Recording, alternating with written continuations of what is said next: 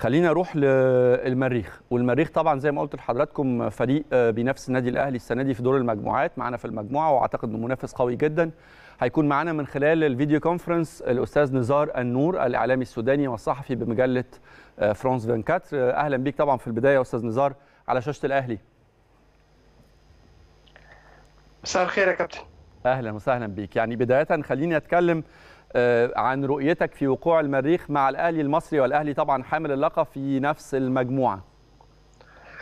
بداية دعني أحييك يعني كابتن أحمد سمير يعني ودعني أحيي جميع جماهير الأهلي بطبيعة الحال. أنا ضيف اليوم على نادي الأهلي النادي الكبير نادي القرن النادي العظيم الذي يملك مؤسسة كبيرة. هي مؤسسة محترمة. يقودها العديد من المتخصصون.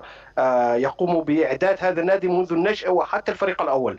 المواجهة المرتقبة ما بين المريخ والنادي الأهلي تم تأجيلها بسبب مشاركة النادي الأهلي بطبيعة الحال في كأس العالم مزبوط. الذي ستدور فعالياته في الشهر المقبل في الدوحة ما يمكن أن اقوله اليوم بأن هي مواجهة بين فريقين أخوين شقيقين يربطهما مصير واحد، تاريخ واحد، الكثير من الأشياء تربط بين السودان ومصر، لا يمكن أن ننكر ذلك، نعرف أن المريخ والأهلي مواجهات تاريخيا لديها الكثير من الاثاره سواء كان سواء مع المريخ أو مع الهلال، مع كل الفرق السودانية الأهلي دائما يكون ضيف ثقيل لأنه فريق كبير يملك العديد من المفاتيح مفاتيح اللعب، يملك التاريخ، يملك أكثر عدد تتويجات في القارة الأفريقية.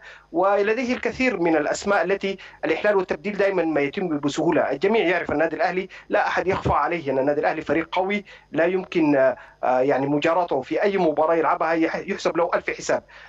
في النهاية الكرة تلعب على داخل المستطيل الأخضر ويبقى طبعا. الود ويبقى بس, بس في بعض الأستاذ نزار اسمح لي الشعبين الشعبين بعض